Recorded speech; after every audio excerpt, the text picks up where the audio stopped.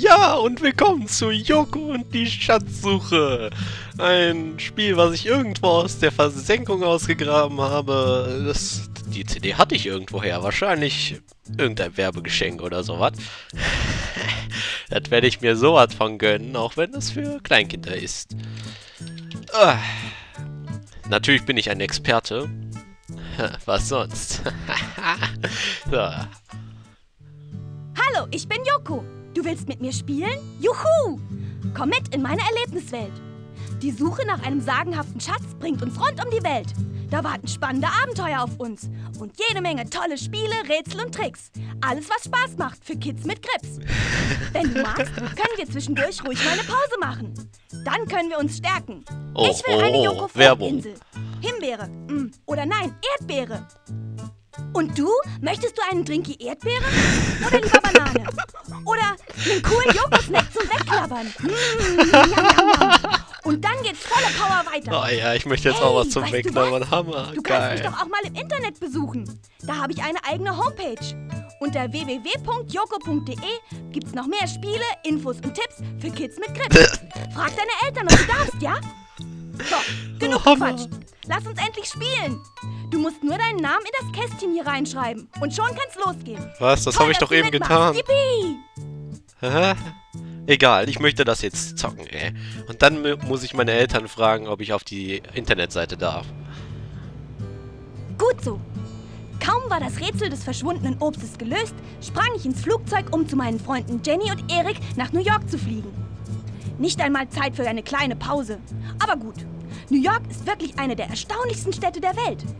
Was wohl der wahre Grund dafür sein mag, dass mich Jenny und ihr Bruder Erik baten, Hals über Kopf zu ihnen zu kommen. Ich hoffe, dass ihnen nichts Schlimmes zugestoßen ist.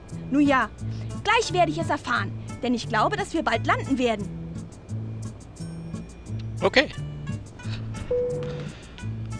Meine Damen und Herren, schließen Sie die Gurte. Wir beginnen unseren Landeanflug auf den Flughafen von New York. Auf geht's nach New York!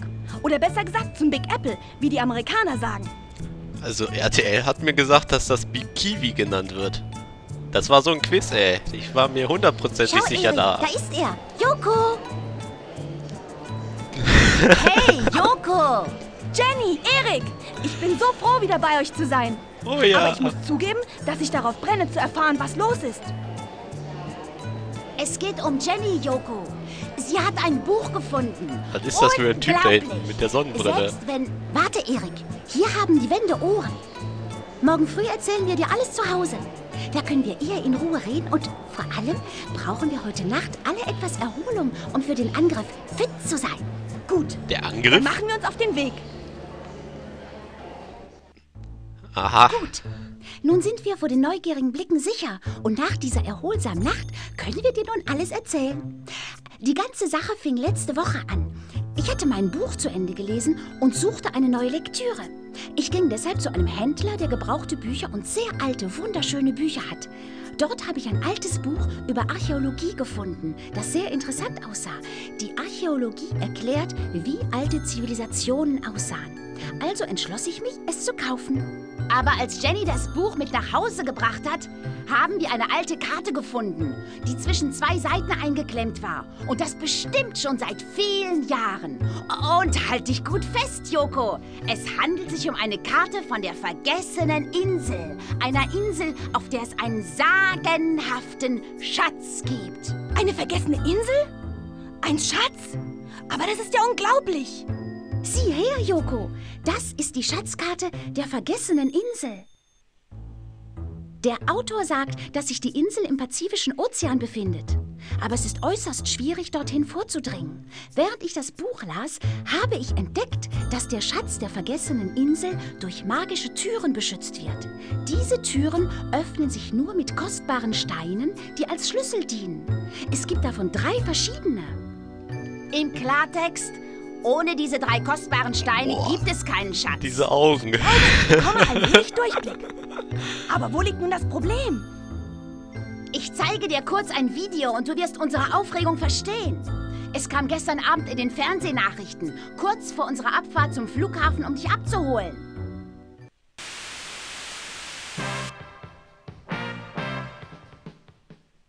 Guten Abend, meine Damen und Herren. Alle Sicherheitsdienste sind in höchster Alarmbereitschaft.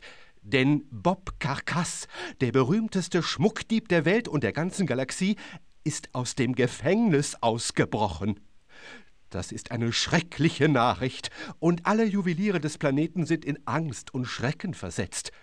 Auch ich, meine Damen und Herren, habe daran gedacht, mich mit meinem Hab und Gut in einen Panzerschrank einzuschließen, aber dann könnte ich Ihnen diese Nachrichten nicht mehr präsentieren, und außerdem stünde ich als Dummkopf da. Deshalb habe ich mich ganz mutig dazu entschlossen, es nicht zu tun. Hammer, das Game. Hier Hammer. ist das aktuellste Foto, das wir von Bob Carcass haben. ah, die Sonnenbrille. Sollte Ihnen diese düstere Gestalt jemals auf der Straße begegnen, so seien Sie sehr vorsichtig. Und vor allem verraten Sie ihm nicht meine Adresse. Nun gut, damit beenden wir unsere speziellen Kurznachrichten. Guten Abend. Gut. Hammer, das Game. Die Sonnenbrille durfte er auch Sieh mal anbehalten. einer an. Ich glaube, ich habe diesen Bob Karkass schon einmal gesehen. Und zwar gestern am Flughafen.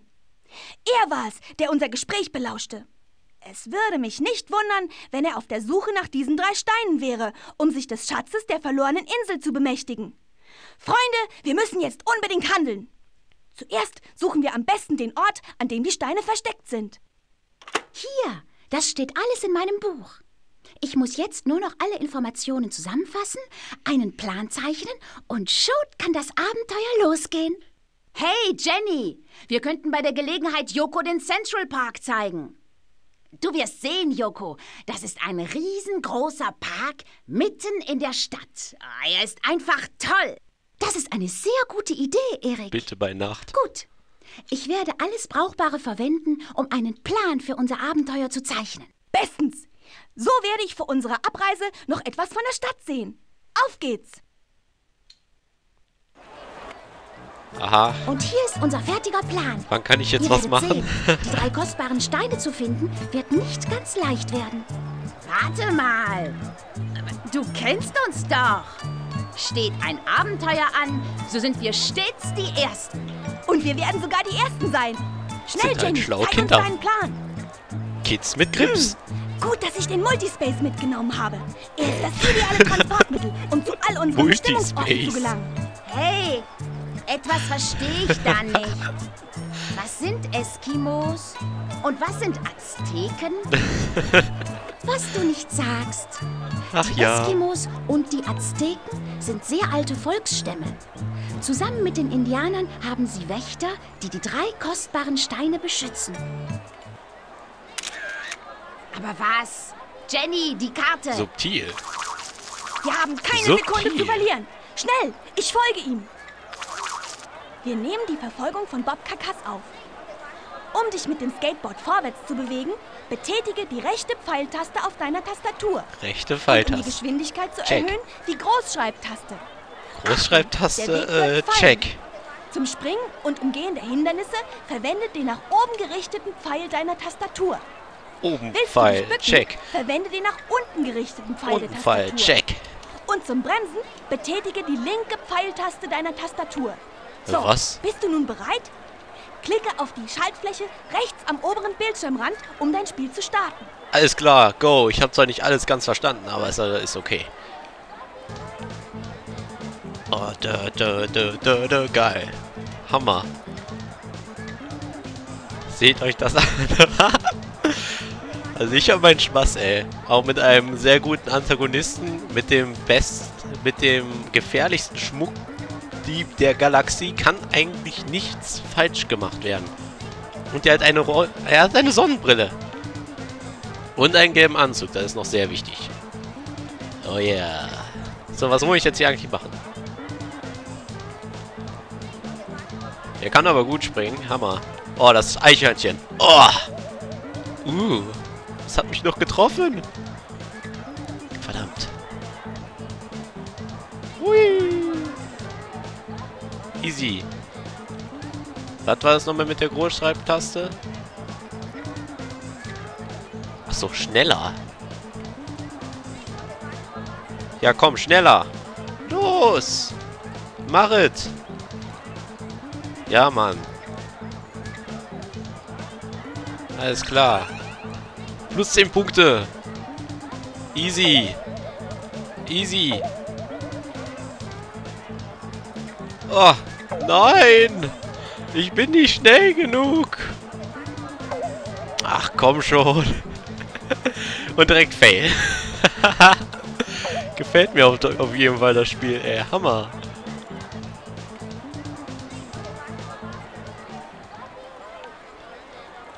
Ja, leider nicht ganz. Egal. Jetzt habe ich die Steuerung verstanden. Jetzt ist das alles gar kein Problem mehr.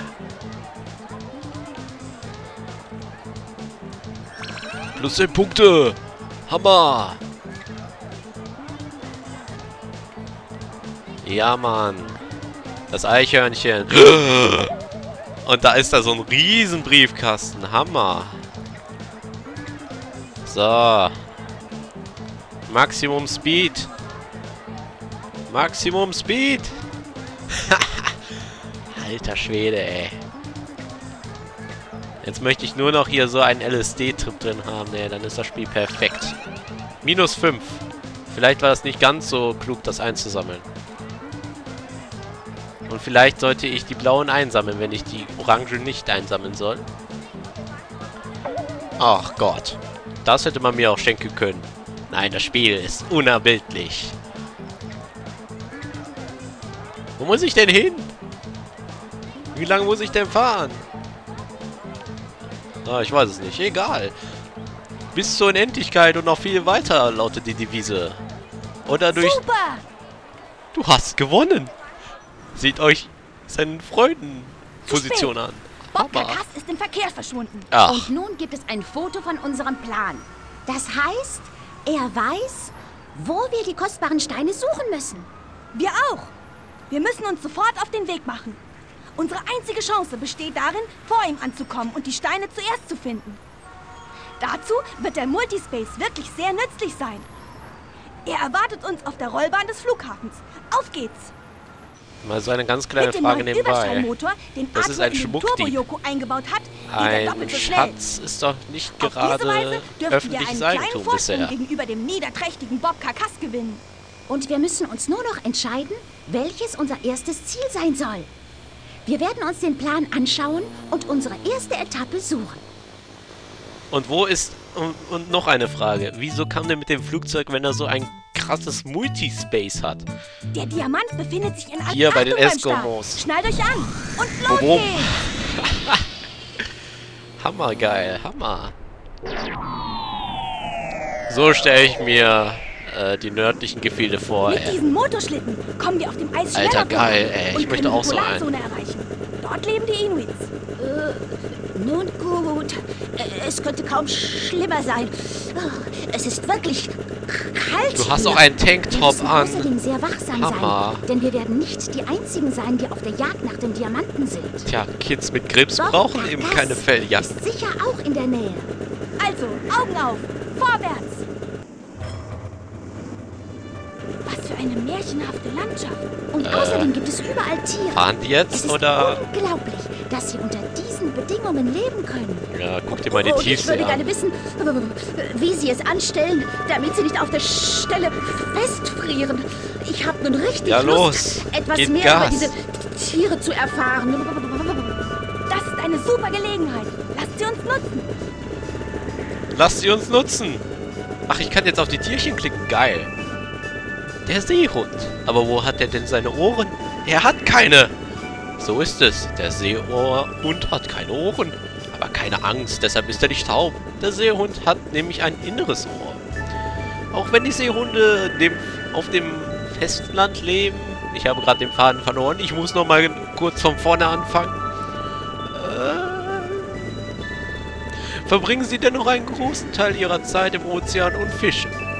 Trotz seiner guten Zähne ist der Seehund ein echter Vielfraß, der einen Fisch in einem Zug verschlingen kann. Ohne ihn zu kauen. Hammer. Das kann ich auch. Der Seehund kann sehr lange unter Wasser bleiben. Er kann aber nicht wie die Fische unter Wasser atmen, sondern muss immer wieder an die Wasseroberfläche kommen, um Sauerstoff zu tanken. Die Seehunde haben keine Angst vor dem kalten Wasser im Nordpolarmeer, in dem sie schwimmen.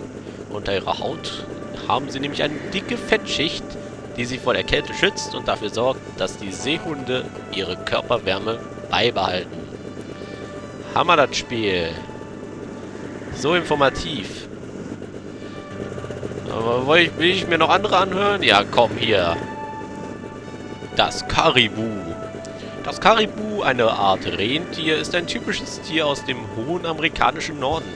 Sein Name bedeutet der, der nach Nahrung gräbt. Das Karibu heißt so, weil es die Erde mit seinen Hufen aushöhlt, um Wurzeln zu finden, die es fressen kann. Das Karibu ist ein reiner Pflanzenfresser und frisst niemals Fleisch. Das Karibu gehört zu derselben Familie wie der Hirsch. Ein Tier, das man in den Wäldern Deutschlands antreffen kann. Aber die Besonderheit des Karibus ist sein schaufelartiges Geweih, das es stolz auf seinem Kopf trägt. Männchen und Weibchen tragen beide ein Geweih, was bei dieser Tierart recht selten ist. Das lange und dichte Fell des Karibu ist für ihn der perfekte Schutz gegen die große Kälte. Es hat sogar Fell auf dem Maul, damit ihm dieses nicht einfriert. Doch viel erstaunlicher ist, dass das Karibu ein ausgezeichneter Schwimmer ist. Seine Hufe dienen ihm als Paddel, so eine Art Ruder. Jetzt vergleicht nicht die Quarkstecher mit Rudern, ja? Hammer! Jetzt, jetzt bin ich schon ein bisschen sauer auf das Spiel, ja? Ein bisschen. Und wenn es im Wasser ist, kann es damit schwimmen. Hammer, das kann ich mir sogar ausdrucken, wenn ich Bock drauf habe. Ach komm, machen wir mal weiter hier. Ach, jetzt muss man hier so... Hammer, wie schnell die sind. Seht euch an, wie der Joker so richtig Spaß an dem Teil hat. Hier, den Eisbär gönne ich mir auch noch. Der Eisbär. Hier sehen wir den Eisbären, den die Eskimos Nanook nennen. Er ist ein Säugetier und läuft auf vier Pfoten. Er kann sich aber auch aufrichten und auf seinen beiden Hinterpfoten stehen, um anderen Tieren Angst einzuflößen oder Nahrung in der Höhe zu fangen. In diesem Fall kann der Eisbär bis zu drei Meter groß sein. Das Fell des Eisbären ist im Winter weiß, aber wenn der Frühling kommt, wechselt es seine Farbe und wird gelb. Der Eisbär ist ein Allesfresser, das heißt, er isst einfach alles Fisch, Fleisch oder Pflanzen. Der Eisbär ist nicht sehr wählerisch, wenn es ums Essen geht. Das sind wir auch nicht. Es ist aber auch ein wirklich dickes Säugetier. Das Männchen, die Männchen können bis zu 700 Kilogramm schwer werden, so wie deine Mutter. Der Eisbär ist auch ein guter Jäger, denn er ist schnell. Er kann bis zu 50 Kilometer pro Stunde in vollem Lauf erreichen. Er hat einen ausgeprägten Geruchssinn, aber dafür hört er nicht sehr gut. Oh. Weiter geht's. Ach, jetzt muss ich jetzt nochmal hier durch. Hammer. Yo, go. Stratze mal durch hier. Was ist hier? Souvenirzimmer. Muss ich hier jetzt wirklich alles durchlesen? Hammer. Kleine Alk. Selbst wenn er genauso ungeschickt läuft wie der Königspinguin, sollte man dennoch diese beiden Tiere nicht miteinander verwechseln. Der Königspinguin lebt auf der südlichen Halbkugel und vor allem kann er, im Gegensatz zum kleinen Alk, nicht fliegen. Der kleine Alk ist ein Verwandter des großen Alks, einem heute bereits ausgestorbenen Tier und hat bei, mit diesem eines gemein. Ein sehr gutes Sehvermögen bei Nacht. Der kleine Alk ist 40 cm groß und durch seine kurzen Flügel und seinen winzigen Schwanz zu erkennen. Er lebt auf der nördlichen Erdhalbkugel. Der kleine Alk ist ein, ein guter Schwimmer, wie seine sch mit Schwimmhäuten versehenen Füße zeigen. Außerdem kann er seine Flügel unter Wasser zum Schwimmen benutzen, was aus dem kleinen Alk einen hervorragenden Fischer macht. Hammer. Hammer, die Biologiestunden, die mir dieses Spiel gibt. Oh, ich kann auch nach hinten gucken. Seht euch das an.